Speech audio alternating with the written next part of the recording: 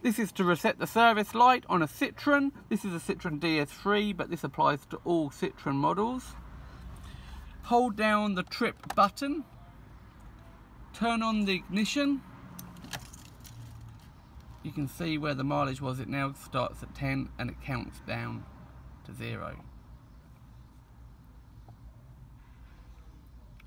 Once it hits zero, turn the ignition off, turn back on again, and the spanner and the service light